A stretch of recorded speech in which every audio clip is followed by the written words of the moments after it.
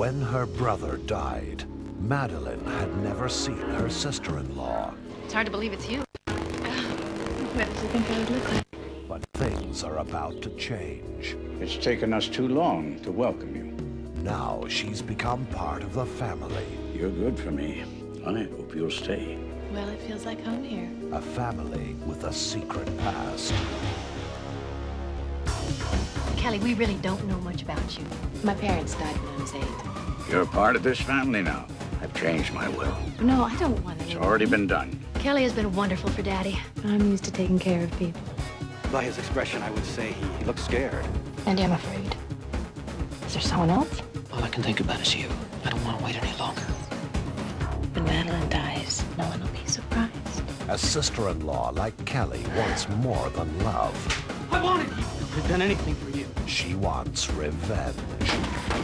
She believed the only reason they got away with it was because they had a lot of money. Now, Madeline's world has turned into a nightmare. Your husband was found in a hotel room this evening, murdered. I'm worried about her mental state. I'm afraid she might hurt herself. where every move could be her last. But you're not getting away this time. I've waited too long.